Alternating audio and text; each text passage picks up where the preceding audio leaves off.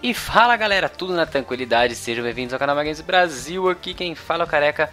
Pessoal, vamos lá pro próximo episódio aí do Do Nada para o Mundo. Eu tava na dúvida, eu edito o episódio anterior ou eu gravo esse daqui? Como não ia ter tempo para fazer os dois, eu decidi gravar e depois tentar editar tudo rapidão para sair dois episódios para vocês. Vamos lá, o time tá um pouco cansado, mas faz parte, né? A gente vai, se eu não me engano, tivemos um empate né, no episódio anterior que foi um empate meio tenso, que eu fiquei putaço com o empate e encontramos o adversário. O cara tem 82 de classificação, 95% de química, né, de entrosamento e um time bom, um time bom, um goleiro sensacional, um ataque muito rápido, sem contar o passe do Pirlo ali, né?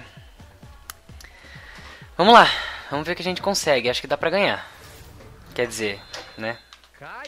Difícil dá pra ganhar, mas vamos tentar. E o botão do meu controle ainda tá travando. De cabeça, vamos lá, vamos lá. Tá lá dentro, moleque.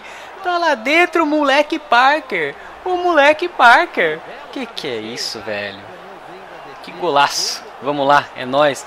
Parker conseguiu subir ali ganhar do time inteiro de ouro do cara, eu falo pra vocês, como que eu vou tirar um maluco desse do meu time, velho? Não tem condições. O time do cara corre muito, então é difícil fazer qualquer coisa aqui. Vamos, Parker, não faz isso, Parcão.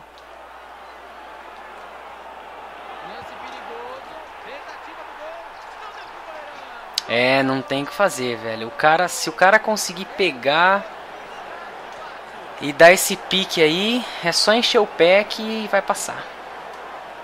A gente só não pode deixar isso acontecer toda hora, né? É 1 a 0 não tem que fazer. Não tem que fazer porque o cara correu bem mais. E não sei porque que ele deu o gol do Iturbe. Ah, bateu no Iturbe, velho. Que zica da balada. Vamos lá. Vai, eu tô tentando mudar pro meu volante. Ô, oh, filha da puta, muda pro volante, velho. Passou. Ah, aí fodeu.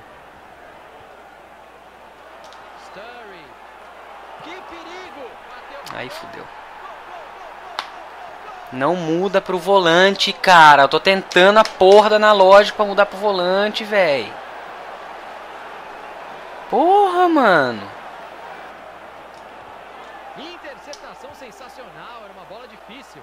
Nossa. Não. Ah, você tá tirando, mano. Não foi falta isso aí.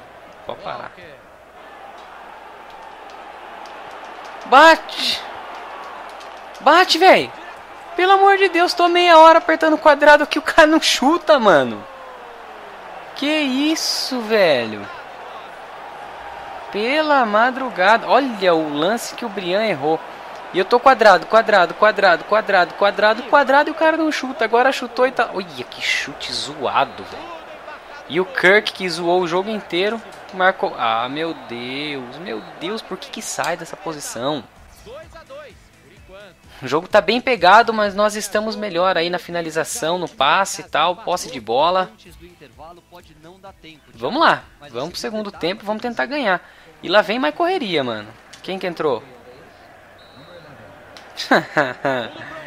entrou Dumbiá, filhão.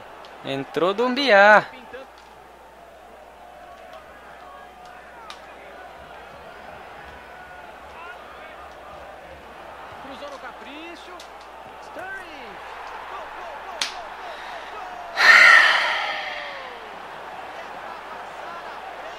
É sério, eu fico impressionado, velho.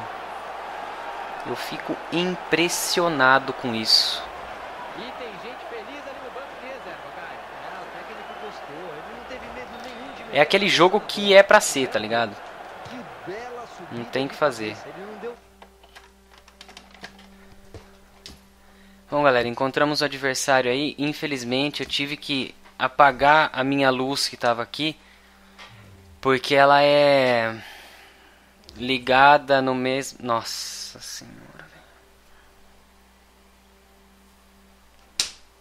Vou nem falar nada. Ela é ligada na mesma tomada da, do notebook. O notebook tá acabando a bateria e não ia dar pra gravar, então vai um pouquinho mais escuro mesmo e boa. Olha o time do cara, mano. Pelo amor de Deus. Ele está nem, não está nem no banco de reserva. Ou seja, tem que...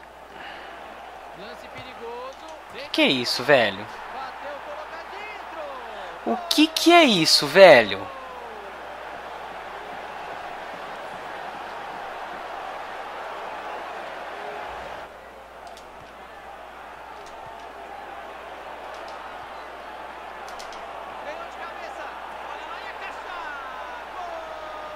Oh, glória, mano. Pelo amor de Deus, cara. Que isso, velho?